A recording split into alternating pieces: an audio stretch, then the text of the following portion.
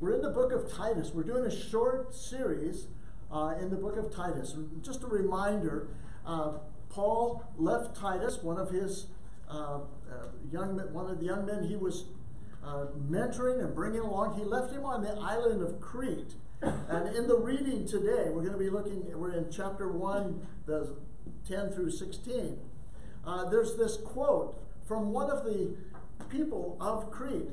Uh, he said, The people of Crete are all liars, cruel animals, and lazy gluttons. Of course, since he was from Crete, we don't know if that's true or not, because all from Crete are liars. So there's a little con- conundrum there. Um, how many of you know the story of uh, Little Red Riding Hood? Is that, is that known in most places in the world? Little Red, Little, little, I can't say it. Little Red Riding Hood. Uh, the story, uh, in its original form, is quite gruesome. I, am glad that we kind of changed it. I don't know how we got all of these fairy tales uh, that were so uh, gruesome in nature. The story is of a little girl going to her grandmother's house to bring uh, a snack or something to her, but the wolf gets there first. And in the original, the wolf eats the grandma and gets in her clothing and gets in her bed. And when Little Red Riding Hood comes in, um, she begins to notice something's wrong. and she said, Oh, Grandma, what a deep voice you have. And the, the grandma makes some excuse about it, and he says, "Oh, grandma, what what great large eyes you have!" And she said, "Oh, the better to see you, my dear." And eventually, she gets to the point in saying, "Oh, grandma, what big teeth you have!" And uh, the wolf jumps out and eats her in the original. Okay, so it's kind of a gruesome uh, story. Uh, we've kind of cleaned it up. We have a woodman that comes and kills the wolf, and we find Grandma is only locked in the closet. So that's the that's the sanitized version of it. But the idea of a wolf in sheep's clothing does not come from fairy tales. Actually, it comes from the scriptures. Jesus warned us about wolves uh, that uh, those who are false prophets. Let me read you Matthew 7 15. Behold, the false prophets who come disguised as harmless sheep, but they're really vicious wolves. In Matthew 10 16, he says, Look, I am sending you out as sheep among wolves. So be shrewd as snakes and harmless as doves. Paul picked up the words of Jesus, and in 2 Corinthians, he warned the people these people are false apostles they are deceitful workers who disguise themselves as apostles of Christ. But I'm not surprised. Even Satan disguised himself as an angel of light. And so it's no wonder that his servants also disguise themselves as servants of righteousness. In the end, uh, they will get the punishment their wickedness, wicked deeds deserve. Peter said this to as he wrote to all the churches in his letter, in his second letter. Uh, but there were also false prophets in Israel, just as there are false teachers among you. And they will cleverly teach destructive heresies and even deny the master who brought them. Uh, in this way, they will bring sudden destruction on themselves. Now, we've all dressed up at one time or another. Uh, here in Germany, it's at Fasching time. You put on a costume. In America, it's Halloween that's just passed. And as a little kid, it was it was always kind of fun to dress up to be a pirate or a cowboy or uh, uh, a hobo. That was the cheapest one. I could wear old clothes and put dirt on my face. You know, carry a stick, hobo. Um, and, and kids loved it. Back in my day, it was pretty safe to go out. I'm not sure I'd let kids out these days uh, doing it. Um, but when it's just for fun, there's no harm in it. But these that Titus, uh, that Paul is talking about with Titus, it's not just for fun. These are pretending to be followers of Christ, but they are false prophets. Let me read for you then uh, verses 10 through 16 of chapter 1 of Titus. For there are many rebellious people who engage in useless talk and deceive others. This is especially true of those who insist on circumcision for salvation. They must be silenced because mm-hmm. they are turning whole families away from the truth by their false teaching. They do it only for money. Even one of their own men, a prophet from Crete, has said, The people of Crete are all liars, cruel animals, lazy gluttons. This is true. So reprimand them sternly to make them strong in the faith. They must stop listening to Jewish myths and commands of people who have turned away from the truth. Everything is pure to those whose hearts are pure, but nothing is pure to those who are corrupt and unbelieving, because their minds and consciences are corrupt. Such people claim to know God, but they deny Him by the way they live. They are detestable, disobedient, worthless for doing anything good reading through the end of chapter 1. And here he, he gives us three major topics. One is that we need to rebuke false teachers. Secondly, that we need to rescue deceived believers. And thirdly, that we need to recognize uh, the corrupt teachings. And, and so he gives uh, Titus these, these words so that we can understand. First of all, uh, he identifies uh, the manner of false teachers. The very first thing he says is there are many rebellious people who engage in useless talk. The, the key factor uh, of, of a false teacher is he's rebelling against the truth. He knows the truth, but he denies it. He's not deceived. He's saying these are not deceived people, these are rebellious people and they present useless talk or vain or empty talk, and they try to deceive or seduce uh, those who are listening to them. Then he gives us the motive. Uh, the motive was always selfish, always selfish. Uh, those who teach false doctrine always are trying to bring attention to themselves or uh, pleasure to themselves, monetary gain. He points it out. Uh, they're only doing it for money. Down through the history of the church, unfortunately, uh, their number has been multiplied over and over again. Uh, I remember uh, reading about, uh, you know, when television came out and, and television evangelists came sliding around.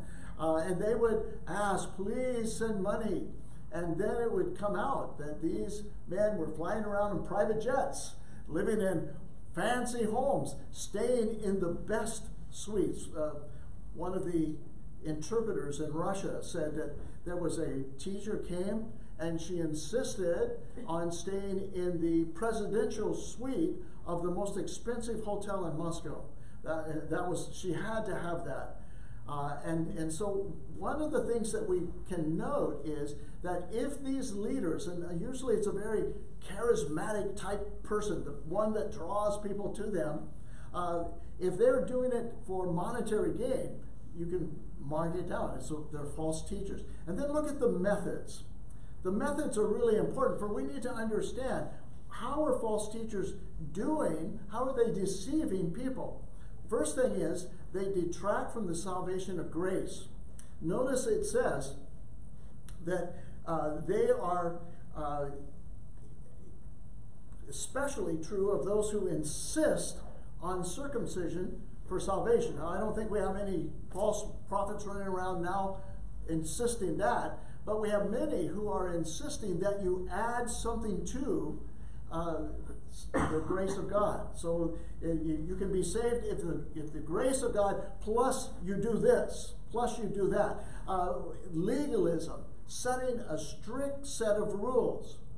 Uh, in, in times past, uh, that was much more prevalent within the church. Every church had these rules and these rules and these rules.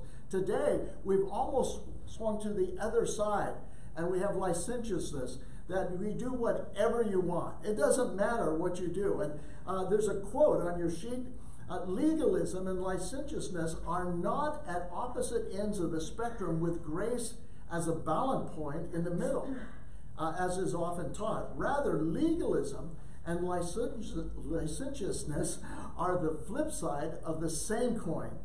Both are rooted in the flesh and neither produce true godliness.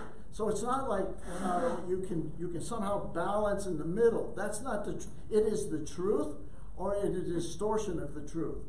And it's if you add anything to salvation, uh, or take anything away from the commands of God, you're distorting the truth there. Notice he says that they focus on myths, not on works of Christ. If you look at the history of uh, cultic movements, movements that have gone away from the, the Orthodox Christian faith, uh, they are often based upon a dream that someone had, or a vision, or an angel spoke to them. Uh, the Word of God is not enough for these people. Uh, they add this, these myths and they take away from the works of Christ. We don't need an angel to come and talk to us uh, about how uh, to know about Jesus Christ. We have the Word of God. We don't need uh, to have some kind of new vision. Uh, God is working through His Word and through His people today. Um, 1 Timothy 1 4 says, Don't let them waste their time in endless discussion of myths and spiritual pedigrees. These things only lead to meaningless uh, speculation, which don't help people live a life of faith in God. And then, thirdly, as a method, they promote man's commandments and not God's. Man's commandments and not God's. Jesus ran into this when he was on the earth. There were those that said, wait a minute, you don't wash your hands correctly. You're not following the rituals of, of, the, of the church. You're not uh, doing the things that, uh, that we believe that you should do. The Pharisees were great at making rules. They had 39 rules and 39 sub rules under every of the, one of the 39 rules. And Jesus spoke to them in Mark chapter 7. He said this uh, For you ignore God's laws and substitute your own traditions. Then he said, You skillfully sidestep God's law in order to hold on to your own traditions. And then one of the things he pointed out to them, one of their traditions was that they could not care for their own parents if they said, This money that we have or these possessions, they, we call them korban. They belong to God. Now, they didn't give them to God, they kept them. Uh, but by calling them korban, they could not use them to help their own parents in need. And that was one of the things that Jesus pointed out. And today, uh, we have people that want us to follow man's commandments and not Christ's commandments. Um, we have people that are promoting religion and not a relationship with Christ. So we need to speak out the truth. He says rebuke. He said they should be silenced. Uh, but also, look at this this one verse that it really seems to be kind of turned around. This is true. So he's talking about the the creeds uh, that were always liars.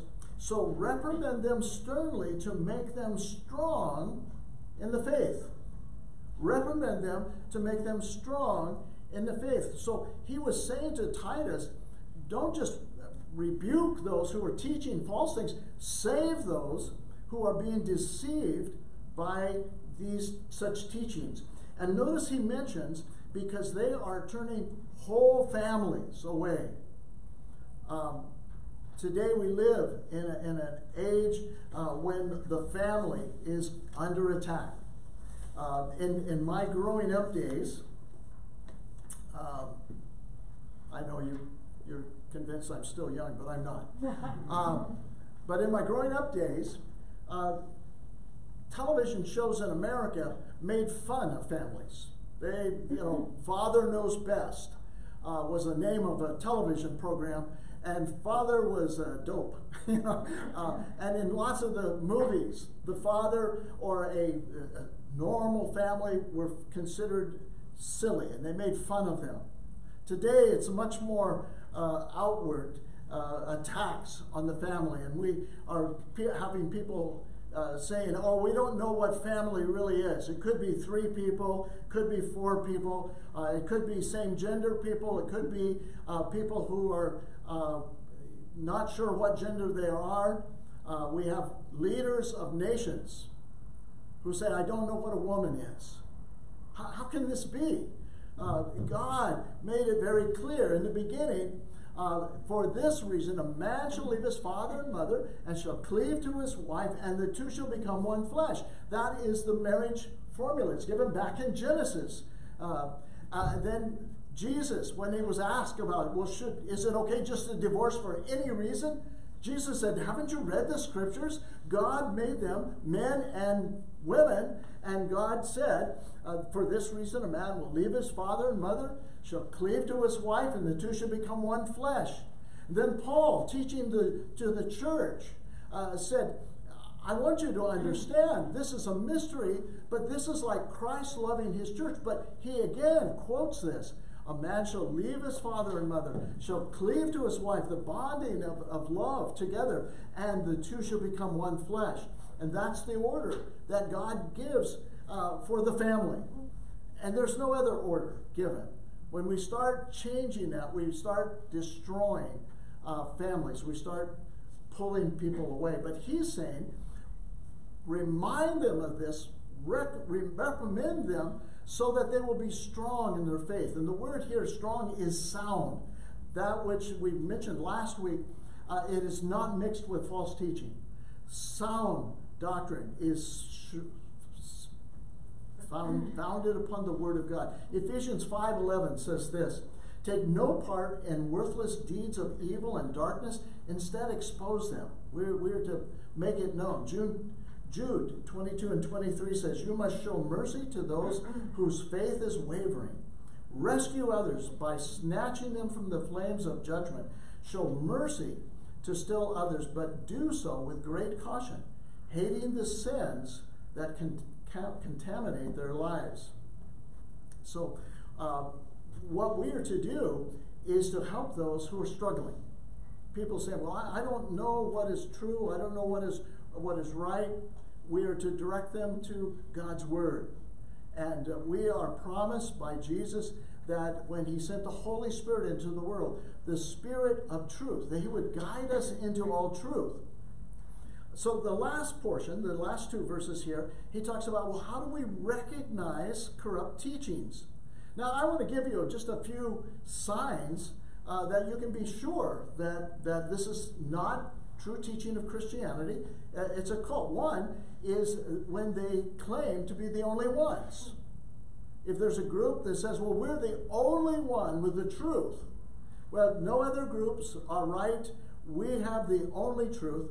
You can you can run up a red flag. That's that's not a Christian uh, group. They have uh, they are exclusive. They have closed membership.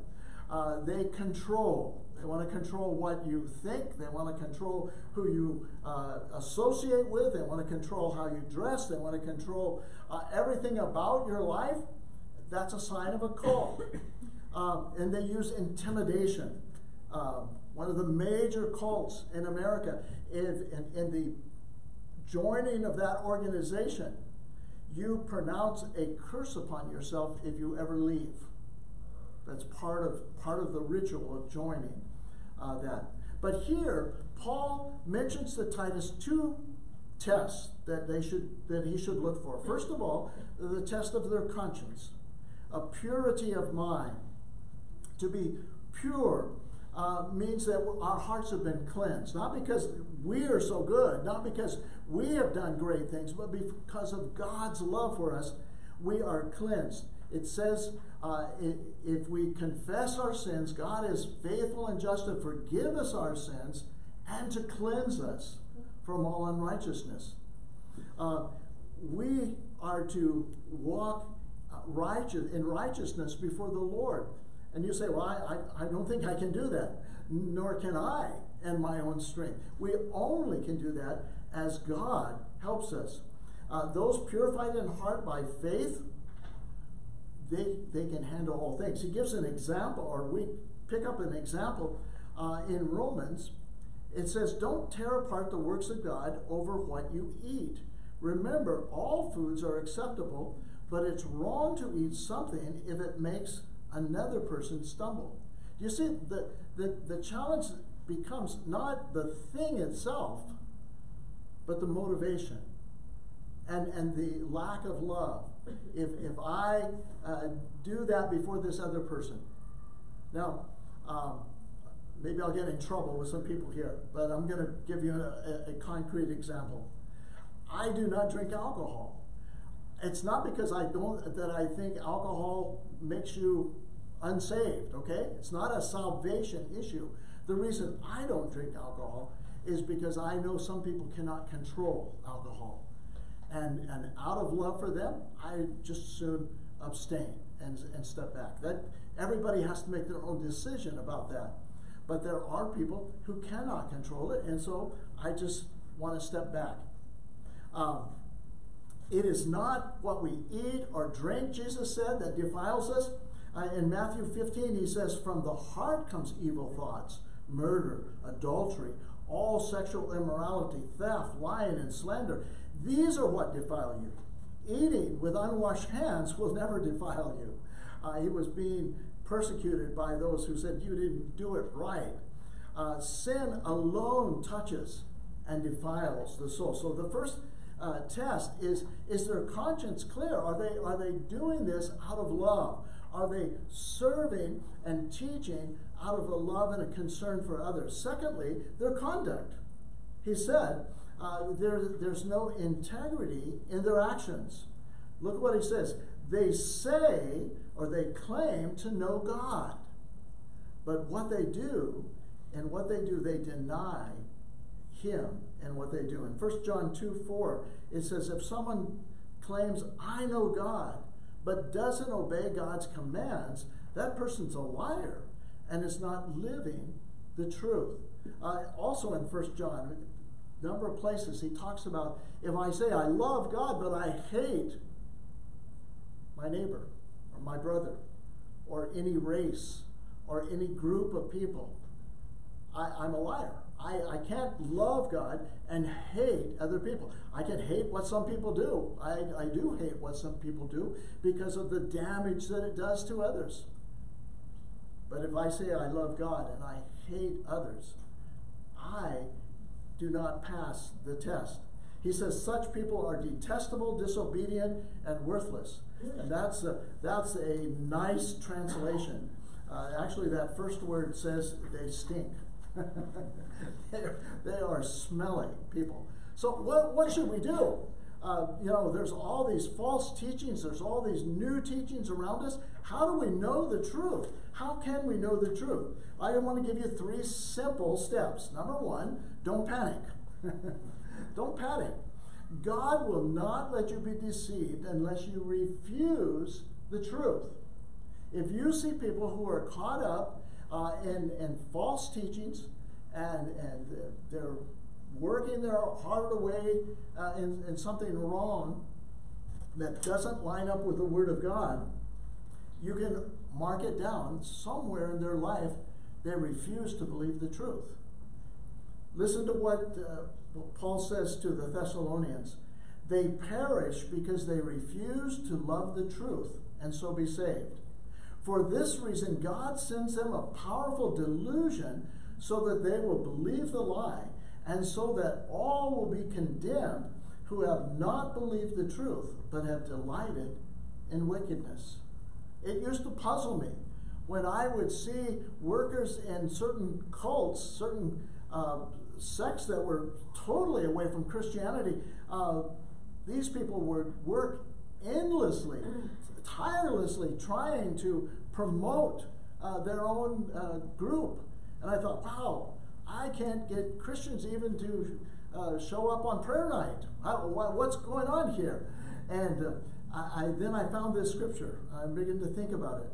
Because they refuse to believe the truth, God allows them to believe a lie. If you come up against uh, the truth about God's love for you and, and about how He has provided for your salvation in Jesus Christ by grace alone, if you refuse that,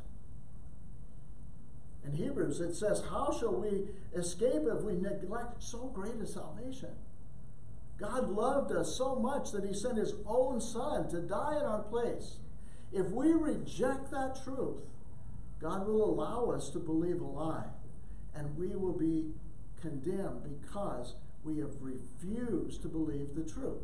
So don't panic unless you're re- refusing to believe. Uh, it, it, God is okay with doubters, okay? As long as they're seeking the truth. Uh, even Thomas, uh, after the resurrection, uh, Thomas said, I, I, won't believe unless I see his hands and I put my uh, hand in his side. And when Jesus showed up, he didn't say, Thomas, what is wrong with you? He said, Thomas, come over here and look. And Thomas said, My Lord and my God. Jesus did not correct him. Jesus was fully God. And he said, Because you see and believe, uh, you're, you're blessed. Blessed are those who don't see and believe. We've lived 2,000 years now. The gospel has been passed down, the Bible has been protected uh, miraculously. Uh, the translations that have tried to destroy it, the uh, dictators that tried to burn it, uh, it still is here because it's God's word. If we refuse that truth, then we're in trouble. But we have the Holy Spirit to guide us in the truth. Secondly, focus on the truth about Christ, not on other groups. I, I, really want to warn you in this area. Don't get too uh, curious about other groups and begin to look at them.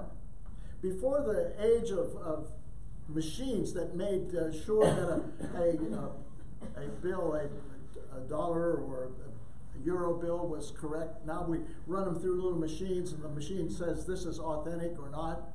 Before that, people had to be trained how to tell counterfeit money. And do you know how they did it? They didn't tell them all the variations. They gave them an authentic dollar bill, $100 bill, whatever. Mm-hmm. And they laid it before them and they said, study it and continue to study it. And if you focus on it long enough and you look at then at one that was counterfeit, you would immediately see the difference. Focus on Jesus. Focus on Him. Every false cult from the first century onward has erred on the person and work of Christ. There are those who said he is uh, he's God, but he's not truly human. There are others that insisted that he was human, but he wasn't truly God. Others said that he was some kind of a hybrid, a, a created being, somehow in between. Many have said that he's a great teacher or example, uh, but they have denied the necessity of his shed blood. Here's the truth the truth is, he is either a liar because he, he claimed to be the Son of God, claimed to be uh, the, the one true God that came to the earth, the Messiah. And some people say, oh, Jesus didn't really say that. Yes, he did. He not only said it, the Jews understood it. They took up stones. They were going to stone him to death. They understood what he was saying. So he's either a liar uh, or he's a lunatic that he just thought. You know, if you go to mental institutes, you'll find some people there who say, I, am Jesus. Uh, and they, they're, they're totally irrational. Or he's the Lord. You don't have other choices. You can't say he's a good teacher. If he's a good teacher, he wouldn't say he was God. And he wouldn't proclaim that by faith in his name we can be saved. A good teacher wouldn't do that. Uh, so he's either a liar, a lord, a, a lunatic, or he's the Lord. Hebrews 12 2 says this We do this by keeping our eyes on Jesus, the champion who initiates and perfects our faith. Because of the joy awaiting him, he endured the cross, disregarding its shame, and now he's seated in the place of honor besides God's throne. Keep your eyes on Jesus. And when your eyes are upon him and, and the truth about him, then you when you come in contact with false teaching, you will immediately recognize it. That that's not what the Bible says. That's not what God has revealed about Jesus Christ. And then thirdly, trust the Holy Spirit to lead you into truth. The Spirit of truth comes, he will guide you into all truth. He will not speak on his own, but he will tell you what he has heard. He will tell you about the future. Uh, when Jesus left this earth, he said to his disciples, It's good for you that I'm going away. And I'm sure that they, if they would have taken a vote at that point, they would have voted like, no, we do not want you to go away.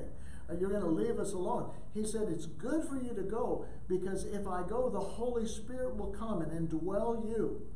Jesus, if he were alive today, could only be in one place at one time. But the Holy Spirit can dwell in every believer. As we yield our life to God and ask Him to uh, forgive our sins and to change our life, uh, then God comes in and the Holy Spirit comes in and He becomes our guide and directs us. And when He directs us, we need to listen. We need to understand that He will guide us into truth and into obedience of God's, uh, of God's path. We are in danger today. There are false teachings within the Church of Jesus Christ. Even mainline denominations are getting confused about uh, things that the Bible clearly talks about. The Bible clearly uh, explains the truth about marriage, about uh, sexuality. It is clear in the Bible. It's not some fuzzy thing. It's very clear there. And we have groups that are weighing out on this side or weighing out on that side about it. God uh, will guide you into the truth if you focus on the truth and not upon the myths that you're hearing about Him. Let me pray for you real quickly, and I'm going to turn it back over. We have another song. Uh, we're going to count how many boxes we have here. I think think uh, I saw Alex sneaking over there to count those already. But how many did you count? 72 plus the ones coming, so 79, I think. 79. Woo! So we, we went over our 75. All right. Uh, Geraldine up in uh, in uh, Regensburg, she wrote me a note and said, "Count my count me up for three also. I have three more for you." So when we get it all counted up, I think we'll be close to 100. So that will be fun. That'll be fun. Let me pray for us, Father. You know how easily we are deceived, and we pray that you will guide us into truth that you will help us to encourage one another in the Word of God and in the truth so that we might strengthen our faith in Christ. I pray, Father, that uh, you would help us to stay true to your Word and true to your Spirit in Jesus' precious name.